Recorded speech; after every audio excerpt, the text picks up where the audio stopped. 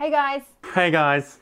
One of um, Muscle Nerd's sayings is putting health back into the health and fitness industry. So we just want to discuss why that's important.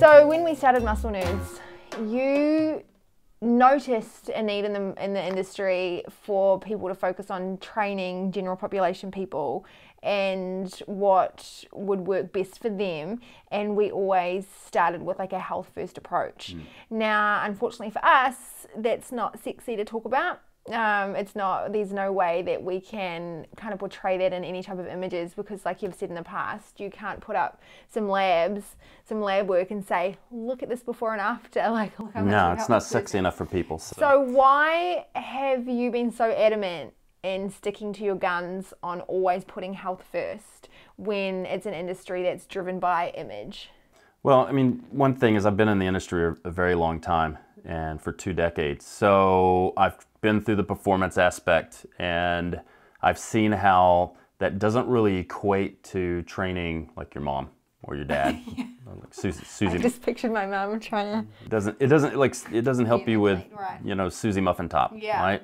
And when you go in like the the last company I worked for, it was mainly performance, mm-hmm. right? How do I train pro athletes and Olympic athletes and things like that, national level competitors and all that. But that stuff doesn't really work well without heavy modification for general population. And most people probably don't have the knowledge to know how to modify it. Right. They don't know what to measure, they don't know how to assess things, and they don't know how to dial things up, up or down, right? Yeah. So that's the problem, right? So if I if I learn these crazy ways of bodybuilding or sprinting or high performance athletics, how do I how do I change that for a 48 year old soccer mom, mm. right? Because the, the general population tend to be way overworked and overstressed and underslept and their nutrition is horrible and that type of stuff doesn't work well. So when I was still in the field training people one-on-one, I had a lot of success with, you know, early 20s. But then when you look at people who are 35, 40, 45 and up, the methods didn't really work all that well unless that person had ample resources to make things like that work. And like as in to invest in recovery and Yeah, invest in recovery and the stuff that we call least mode and getting more sleep mm-hmm. and, you know, meal preparation. Mm-hmm and, and then like the psychology of things your your client's not going to kill themselves in the gym like well that's it. I mean they're not doing it for their livelihood or for their career yeah. or, or to break a record of any kind. That's right. And and for them they're trying to get their health back. You know training is you have to have a lot of disposable income.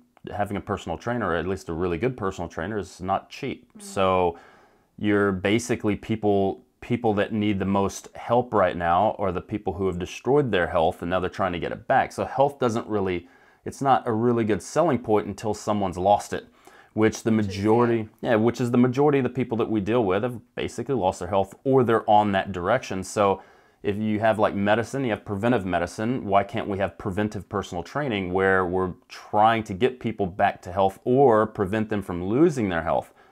And uh, it's it's crazy because we started talking about this years ago. I was talking about this five or six years ago, and we made that a center point of what we did, and people thought we were crazy. And now people are starting to understand, and you're seeing the industry moving that direction, which is good.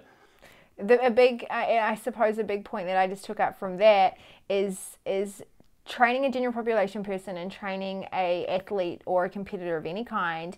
Their motives are different like a yep. general population person just wants to feel better, look a little better, their clothes not be so tight, feel a little bit more confident.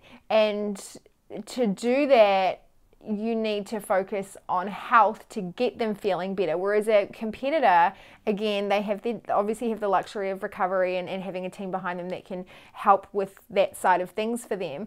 But they're going to sacrifice a lot more to get what they want as opposed to what a general population person is willing to sacrifice. Like they're not going to want to put in the hours and the work. They're not going to want to compromise feeling good to get yeah. a record that they're not going to. At, like at, at the end of the day, a lot of trainers, like trainers, are incredibly weird, damaged people, right? All of us. So. Yeah what drives us is different than what drives other people. I mean, you, you know the way I am. If I can't see my abs, I, I won't take my shirt off at the beach, mm-hmm. right? And that is completely dysfunctional. But that's not how the average person is. The average person just wants to feel better, take better shits. They want to sleep. People aren't sleeping. They want to eat a little more healthy. They don't want to do what it takes to get dick skin lean, and that's probably not what they want. When you have a lady that comes in to you and says, I just want to wear this size 12 pants that I wore in college again, what a lot of trainers will see is they'll look at her and they'll hear what she's saying. She says, I want to wear a one piece without feeling humiliated. Guys will say, I want to look down and see my, my feet again. you know, that's vastly different than I want to be 3% body fat. And the problem is a lot of coaches, they, they hear what their clients are saying, but they're not listening to what they're saying. And so if you come to me or come to a, a, a average trainer, if you go to a regular trainer and you say, I want to, you know, I want to wear one piece, in that trainer's mind, he's already envisioning that client standing on stage in a two piece at a bodybuilding show. And that is not what your clients want. And then you end up giving them protocols that are unrealistic, don't fit in with their life when you have kids and you're working 60 hours a week and you've got a mortgage and you've got two cars and you've got all this other shit going on. You still want to have a social life. So we decided to start teaching how do I train normal people? Yeah. You know, how, how do I make those assessments? Because if somebody's super stressed out, the last thing you want to do is put them into some unrealistic protocol because all they're going to do is self sabotage and binge the whole time. Mm. Uh, it takes a very rare person that's Gen Pop that actually wants to do a radical transformation. That's cool. There's plenty of companies that do that, and there's plenty of people that teach that. We teach that too, but we teach that after you learn how to get people healthy first, get them healthy first, then go in the transformation. That way, the transformation is sustainable. Yeah. Because if you do a radical transformation, the methods that people are using are only sustainable when the person has enough motivation to do it and has somebody screaming at them, right?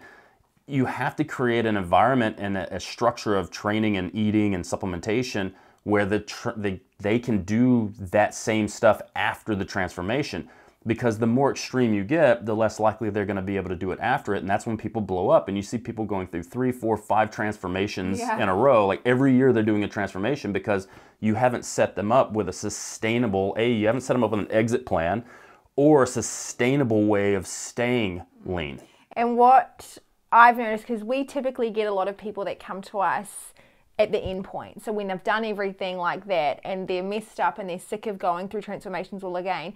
And one of the things I've noticed with a lot of our clients is they think that that's what worked in the past. So yeah. that's what they need to do. But if it had worked, they wouldn't be needing to do it That's again. Right. If you can't sustain it, it's not a good transformation. If you're continuously going back to the same trainer or the same company over and over and over mm-hmm. to repeat this process of basically dysfunctional training, dysfunctional eating, dysfunctional um, supplementation, and then you blow back up because it's not sustainable, it's not a good transformation at all. And there's better ways of doing things. So, by focusing on health, we improve the quality of the person's life, which is ultimately what they're going to want, whether they're aware of it at the start or not.